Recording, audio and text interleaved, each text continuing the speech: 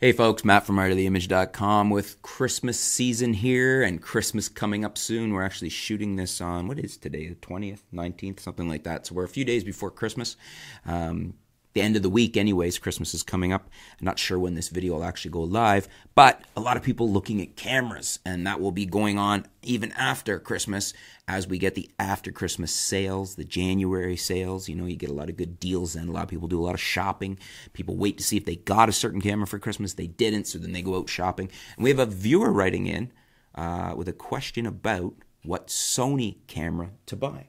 So we've got, uh, let's see here, Fletcher writing in. This was a comment on one of the videos. One question Sony A7, Sony A6000, or Sony A6300?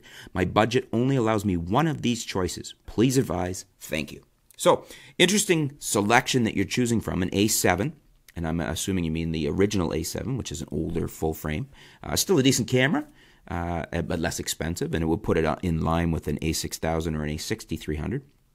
Out of those three, um, you didn't mention what your your specific shooting style is, or what you like to shoot, or if you need to do video or anything like that.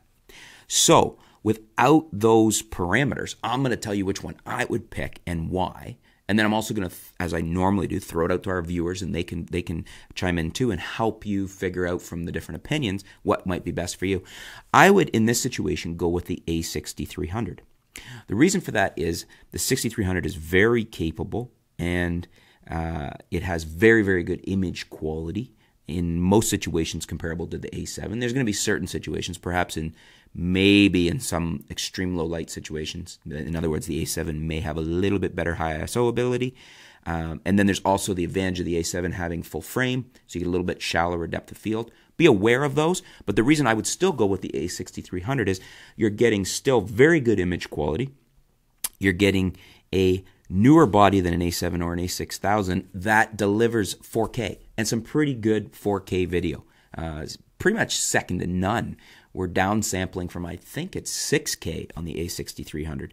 Uh, correct me if I'm wrong, folks, but I believe, if memory serves, that we're downsampling from a 6K uh, intake down to 4K. So we're getting a very, very nice, clean 4K out of the 6300. The 6000 doesn't do that, and uh, the A7, I'm pretty sure, doesn't do that either.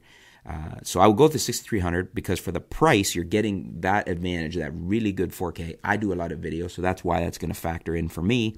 And also, uh, it's it's a sweet spot right now because the 6500 has been out for a while. You can get the 6300 for a really decent price. It's excellent for video and for photography with adapters, either smart adapters or dumb adapters. You can get into just about any other lens on the market and use it on that camera and it just becomes a very good value.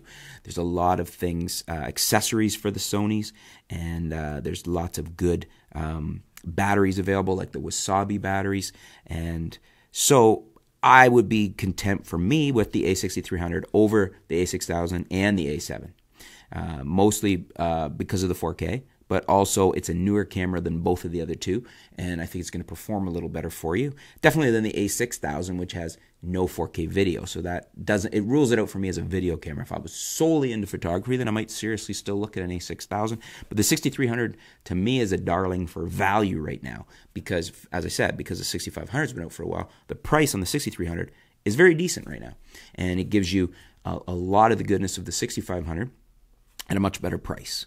So that's why I would go with that.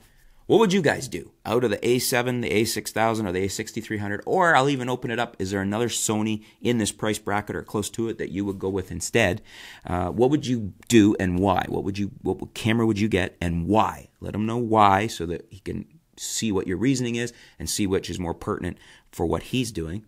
And uh, I'm interested to hear what you guys have to say here. Thanks for your question, Fletcher, and stay tuned, folks. We'll be back soon here at artoftheimage.com.